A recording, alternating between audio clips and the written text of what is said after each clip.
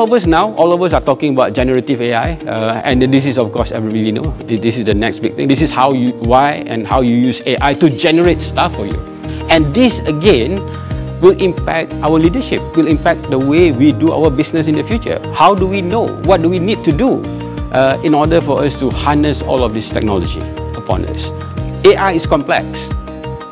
If we do not know how to do this, compared to someone who know how to take advantage of this, they're going to leap so far ahead of us as well. So we must be aware of this. We need to expand ourselves.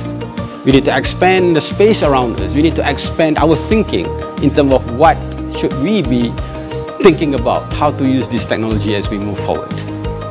This is actually some of the ways that we can get into generative AI at, the moment.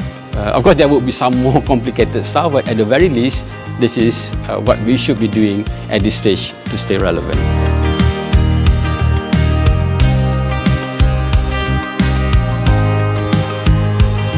My sharing earlier, I talked about the same thing. Success really comes from us making the right decision again and again and again. MBA program that you join is really about giving you that clarity to make that right decision. So always be thinking about that particular purpose over there.